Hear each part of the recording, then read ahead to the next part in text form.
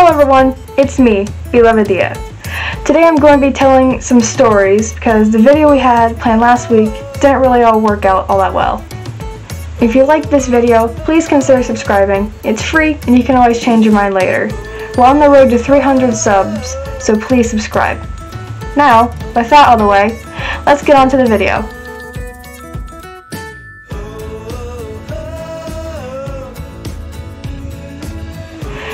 First story is about my cat Tigger.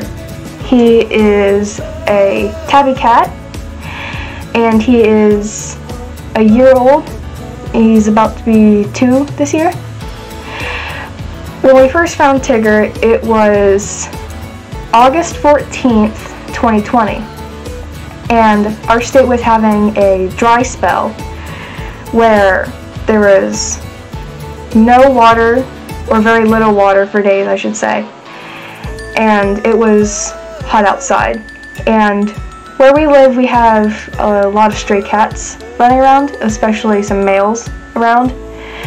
And when my mom brought him in, we were lucky that he was still alive. Because he had been without his mother, mother, and he was about eight weeks old at this time. So, when we first brought him in, my mom looked at my dad and was like, please don't be mad at me. Because my dad has this rule, or not really this rule, but kind of this thing where he was like, no more pets. no more pets. But once we found him, we knew after a few weeks that we were going to keep him. So, since he was only so little, he could only fit in the palm of my hand. He was so small, but he was dehydrated and he was just so nervous. When my mom brought him in, he, she said that she was curled up by a little bench that we had outside and stuck between our house and the stool. And my mom had to do a double glance and she was like, what is that little thing down there? What's that little thing down there? And then Tigger looked over and was like, oh my lord, that's a cat. That's a cat. So she picked him up and like kind of held him on his back and was just like starting to rub him like up and down, like pet him and calm him down. And once my mom brought him inside, I took care of him for like the first two weeks. I took care of him for two weeks. He was in my room for two weeks because Missy, our other cat, did not like him at the time. And we didn't know what gender he was either. So that was an adventure for us as well. So his original name, before we found out the gender, was going to be Isabel instead of Tigger. We suggested Isabel because my friend uh, was having a hard time and we thought it would be a good idea to uh, kind of name Tigger in their honor. So we went to the vet and we found out that Tigger was indeed a it was indeed a male, and um, we're like, well, can't be Isabel. So my dad had suggested the name Tigger if it was a male, and turns out Tigger was indeed a male, and that's how Tigger had gotten his name. He's a little goofball with so with such high energy. He keeps me up some nights, but we all love him little goofball. He's a little goofball. We love him.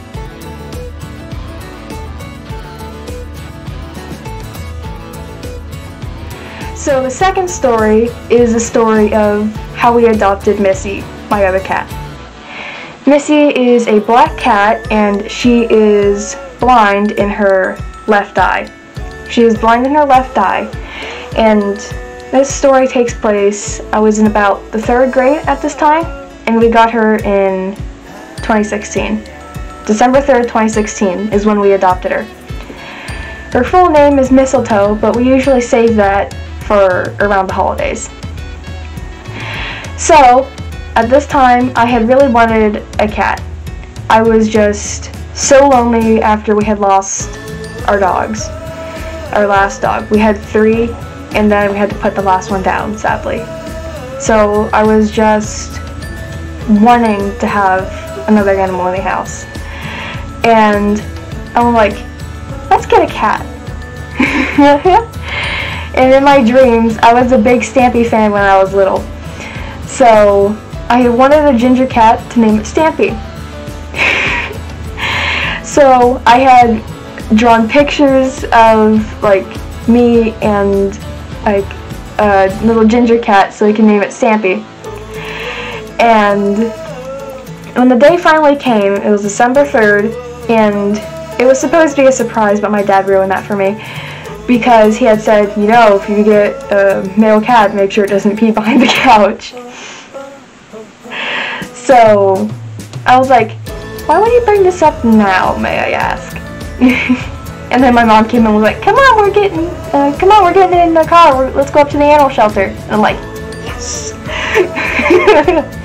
so we went up to the animal shelter and uh, my animal shelter, my local animal shelter did a thing called 12 Cats of Christmas, where the cats would be marked at lower prices, so like for the holidays. And we were looking at the 12 Cats of Christmas to see which one uh, we wanted. And I saw this little, adorable little ginger, brown ginger uh, male.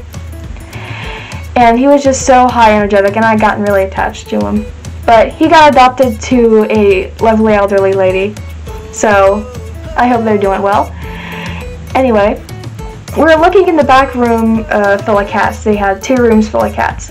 And we looked to the very last shelf on the right hand side and we see a crate that had a 12 cats Christmas mark and it was named Robin. That was Missy. And we asked if we could like, you know, hold the cat. And uh, we were allowed to. And I just held Missy in my hand for so long, and she just sat there so lovingly in my arms. And to this day, that's one of the sweetest moments I've ever had with her is when the moment we first met. That's one of the sweetest moments we've ever had. And I loved, I loved her and loved her that, that day. She is so sweet. I can't even. she's one of the sweetest cats ever. She can be chaotic at times, but she's still very sweet. Anyway, it got time to, cause it got time to check out, and my mom was like, "Yes, we're getting this cat. We are getting this cat." So I went off into the back rooms to like do some crafts, cause I was like six, seven at the time, six, seven, eight at the time. So they had the kids do crafts while they're waiting for their parents or grandparents or whoever was adopting the animal to do all the paperwork. So I was in the back room and I made a little Christmas ornament and I come out and my mom is hugging a woman to death just like oh my god thank you thank you thank you and turns out the cat Missy wasn't on the 12 cats Christmas list even though she had uh, the little trademark on it. Uh, I think it was because it was like a mistake that she wasn't supposed to be on there. But uh, the poor, the not the poor lady, the sweet lady bought the cat for us, so then we could take her home. And if by any chance she's watching this, which I don't think she is, but if you are watching this, thank you. You mean the world does. And I remember getting in the car with Missy and the, and the little toys that she had inside and going home so happy. And on the car ride home, we're like, we're not keeping this cat's name as Robin. There's no way we're keeping this cat's name as Robin. And I thought, since it's around the holidays, we should name her Mistletoe and we should just call her Missy for short. And that has been, yeah, that's been the story of Missy.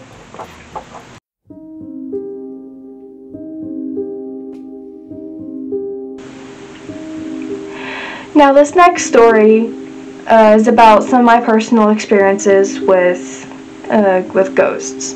Now, I don't know your uh, belief in the supernatural. I don't know if you're a believer or non-believer or whatever. I just think it'll be interesting to tell my personal stories. If you have any stories, uh, feel free to leave them in the comments. I will read them. And if you suggest, or if you tell me otherwise, I can put them in a video. Tigger. Tigger. Way to go, you lost it. Way to go, you lost the clip, bub. You ain't getting it back. You lost it. You're not getting it back, bub.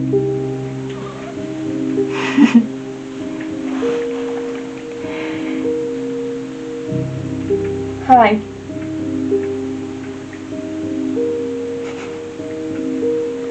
Hi. That's Tigger.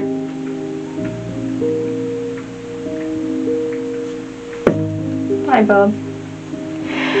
So, if you have any stories that you would like to be shared, or or not, you can tell me. I can put them in a video with your consent, of course.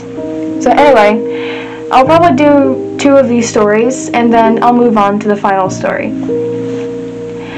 So this was late at night, and it was about three in the morning, I would say. And my bed it was at the time was currently where I am filming, in the corner of my room. And I woke up at about three. I don't know for what reason, but I wake up and I look to the corner, the other corner of my room, and I see a woman in white. It was fully white, but I could still make out details. Like I could make out vague facial features and uh, very vague, like, I could tell that she was wearing a, like, white nightgown. It wasn't like a modern nightgown, but more of like a back in the day type, uh, type nightgown.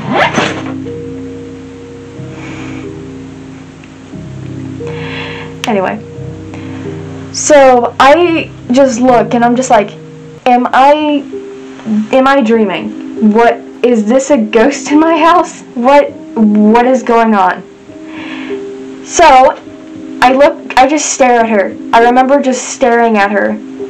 Just, and she was just sitting there swaying gently back and forth. That was all she was doing. So, as kids do, they usually would tell their parents or do something to indicate that they're freaked out. But what did I do? Oh boy, I rolled over and went back to sleep. I was not dealing with that at 3 in the morning. I was not dealing with that at 3 in the morning. And then I wake up, obviously, and she was gone. I haven't seen her since. I have not seen her since. But honestly, sometimes it feels like, like, uh, you know, I wish I would be visited by that again. To kind of like you know, get another chance, you know?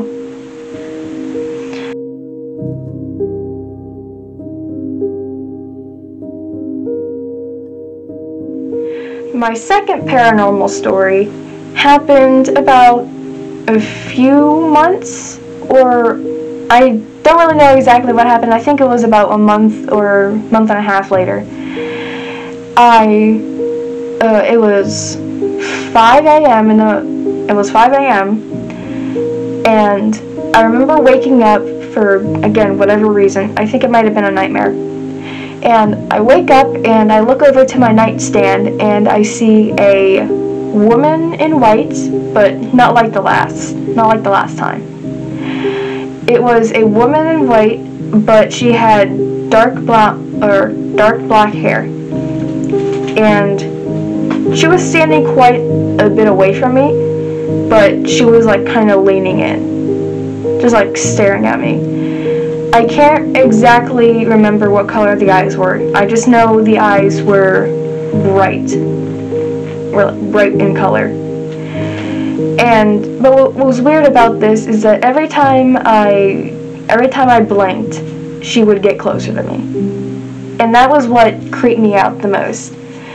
Because things aren't supposed to get near you without consent. Back off. so, again, what would a normal person do? They would freak out or indicate that they were scared and that this was not supposed to be here. But what did I do? First, I tried to have a staring contest with her. Second, I rolled back over and went back to bed. I, sh I should have been more scared for me being as young as I was. But I didn't. So, that one was an interesting one. I still haven't figured that out to this day. But, still pretty interesting.